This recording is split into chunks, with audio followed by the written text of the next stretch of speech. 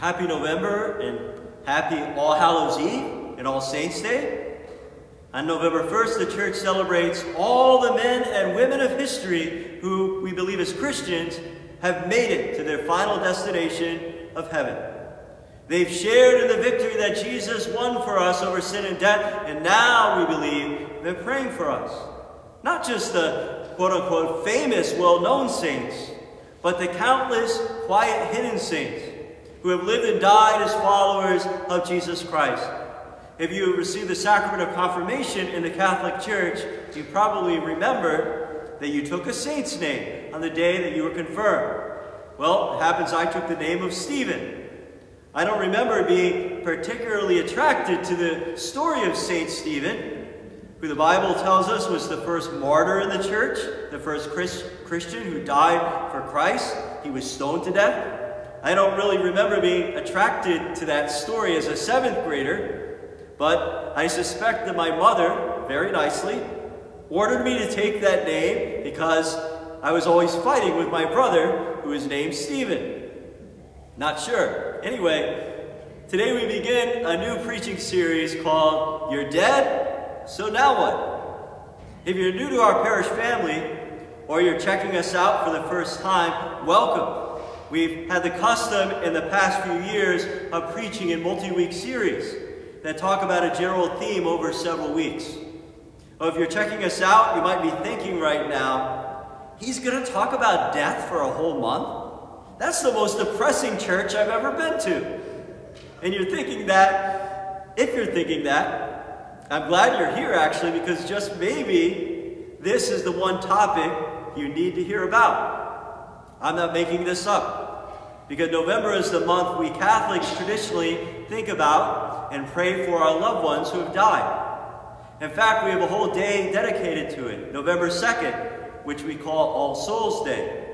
And at St. John's this Monday, November 2nd at 5 p.m., as I announced, I will be offering a live stream Mass of Remembrance for all souls. You know, there are a couple good reasons for us dedicating this November series to the topic of death and what happens after death. Because, first of all, all of us have thought about it in the last eight months or so. At the beginning of the COVID 19 pandemic, if you were like me, you started hearing the terrible stories of people getting sick, both young and old, and you started thinking, it could happen to me, or it could happen to somebody I'm close to. This kind of thinking maybe led to a period of intense worry and anxiety that was only worsened by uncertainty and isolation. And perhaps some of you at some point during this pandemic actually thought about your own death for the very first time. You know, our prayers go out to anyone who has lost a loved one for any reason. My heart my prayers especially go out to anyone who has suffered the tragedy of not being able to grieve as we normally would during this very difficult time. So, just about eight months into this pandemic, some people feel safer and maybe are acting a little recklessly, while others, very understandably, continue to put safety first for themselves and for their families. And all of us, at least to some degree, still have at times that tangible feeling of fear, especially as COVID cases are going up again. Now, we learn anything from this pandemic, maybe we'll learn this that we cannot live in denial about the reality of death. I hate to break this to you, but despite all the advances in modern medicine, the death rate in our country still hovers around 100%. Everyone who lives dies. We can live a large chunk of our lives denying death, but nobody can avoid death. And don't miss this. We as Christians view the whole issue of death in a larger context, the context of eternity. Death is never the end of the conversation for people of faith. And maybe the reason there is such a great amount of denial about death is because most people, even a lot of people who call themselves Christians, don't really believe in life after death. Not really, if you're honest. This, I think, is especially true for many cultural Catholics. But here at St. John's, we've come to call the typical unchurched Catholic in our part of the Poconos Bushkill Kilbog. Bob does not want to talk about death, but here's what Bob probably thinks. When I die, that's probably it. Who knows? And at that point, who cares? Because I'll be dead. I just hope that when it happens, it happens quickly. You know, even though we know that death is inevitable, even though, even though we know in our heads that it's going to happen, it doesn't seem natural. It doesn't seem normal. Death always startles us. We look at death and, we say, it can't be the end. There has to be more. Perhaps that kind of intuition we have tells us something. Consider this. Our experience in life tells us that everything we long for can be found. Everything we yearn for can be gained. For example, we have a hunger for food. And on this earth, we find food to satisfy our needs. We thirst, and we find a world with water and other liquids that satisfy our thirst. We long for companionship, and we find friends. We desire rest, and there exists sleep, and on and on. All the longings we have for life, we find completion on this earth. Reality reflects our needs. So it would seem that our longing for eternity, a longing for, for more than just this life, a longing for life after death, points to a reality. What happens after I die is a question that is written in the human heart because you and I know in our intuition that there has to be something more. And if you ask what that is, it's not a kind of philosophical question that's just debated by intellectual people. It's a very wise question for all of us to ask if we want to be wise. What happens after I die is the most practical question because the most certain part of life is death. And here's an important follow-up question. Does what I do now, here on this earth, have any impact on what happens to me after I die? If so, are there any choices and decisions I should be making before I die? Wise people, smart people, live their lives taking death into account. So what does, what does happen after I die? just to let you know, to answer that question, we are going to rely on the teaching of the Bible as interpreted by the church. You might reject these sources as authoritative sources, but that's where, that's where what we're saying is coming from. I'm not making this stuff up. This all comes from the Bible as taught to us by the church. What happens after I die? If you grew up Catholic, you learn that after death, you're headed to one of three destinations heaven, hell, or purgatory. And, it, and to introduce this topic on today's Feast of All Saints, in the gospel story we just heard, Jesus begins the most famous sermon he ever gave, and probably the most famous sermon ever, the so-called Sermon on the Mount. We heard the very beginning of the sermon. Jesus sat down at the top of a hill. Then the crowd following him gathered around him. And he begins with the so-called Beatitudes. A Beatitude is simply a statement of blessedness or a statement of blessing. And Jesus gives nine of these as a kind of preamble to the rest of the sermon. Notice that some of them, particularly the first four, are not what we would normally expect as human beings to happen to us in everyday life. Jesus says, Blessed are the poor in spirit, for theirs is the kingdom of heaven. Blessed are they who mourn, for they will be comforted. Blessed are the meek, for they will inherit the land. Blessed are they who hunger and thirst for righteousness, for they will be satisfied. What Jesus is saying here is the opposite of our normal expectation. We don't expect in this life, if I am poor in spirit, whatever that means, that I will inherit a kingdom in heaven. I don't expect to be blessed while I am in mourning and grieving. Blessing might be the last thing on my mind. The idea that the meek inherit the land is again the opposite of what I expect. I expect in this world that the hardworking or the powerful or the cunning or the cutthroat or the lucky will get ahead.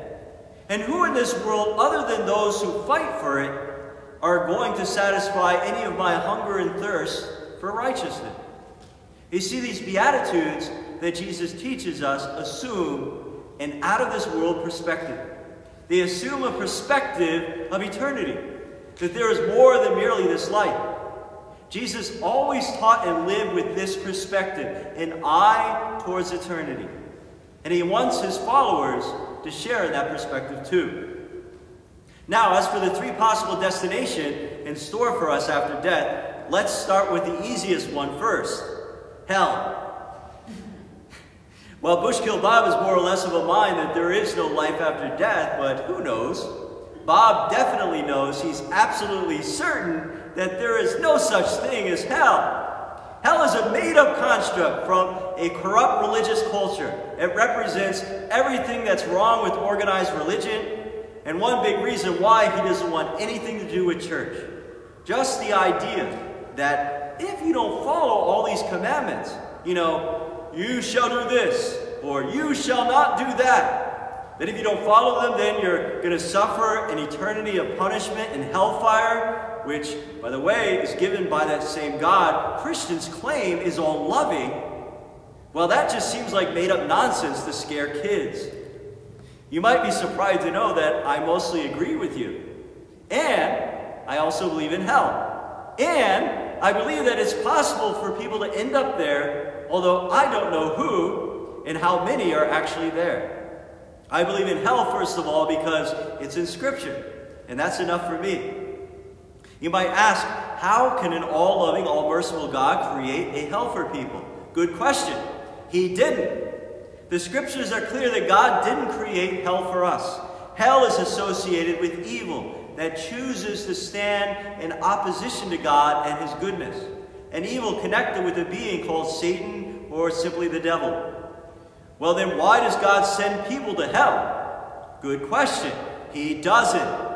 God doesn't send anyone to hell. And perhaps one of the greatest mysteries of life is that God creates us with free will.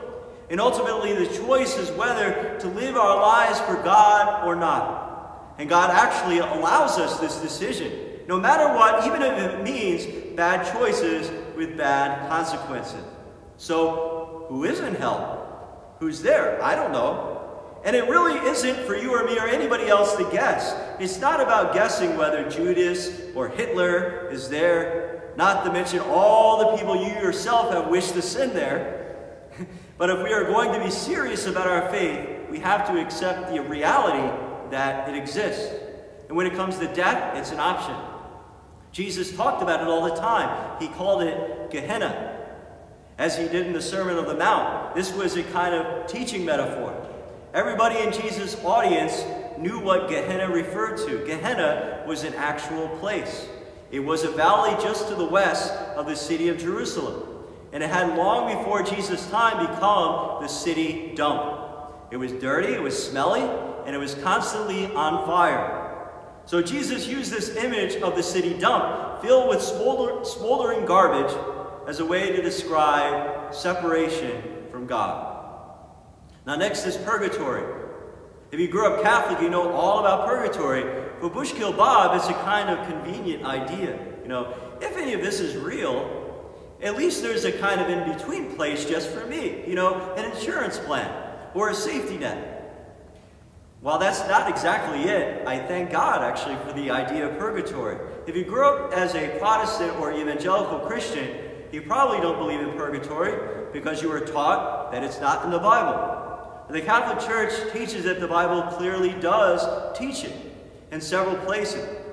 Purgatory is not for those who aren't good enough for heaven or bad enough for hell. It's a place for purgation and preparation. It's for people who have said yes to God's grace but need to be purified in some way of any attachment to sin. Just as gold or silver is refined and purified in fire, some people need to be purified and perfected before they enter into heaven.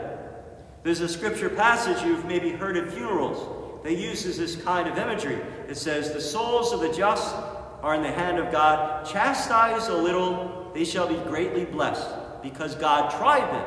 As gold in the furnace, he proved them. Purgatory is an act, actually an expression of the goodness of God who will go at, to any length to share his life for us. In purgatory, we are prepared for the experience of heaven. And it's amazing that God gives us that chance even after we die. And connected with this idea of purgatory, is the Catholic practice of praying for the dead. We pray for the souls in purgatory. Can we pray them into heaven? Can our prayers earn them what they fail to earn themselves? No. Our prayer is not magic, it's support. We believe that in prayer for the living and the deceased, we can support one another, just as the saints in heaven, through their intercession, can support us.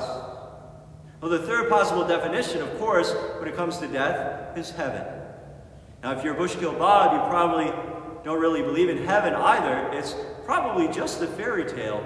But if not, we all get to go to heaven because we've earned it by living good lives, basically being good people, which is defined as not murdering anybody. And if anybody suggests otherwise, you're insulted. Well, heaven is a topic we're going to spend some time talking about next week. And the one challenge for you this week is simple. Make a commitment to this series. Join us throughout this month.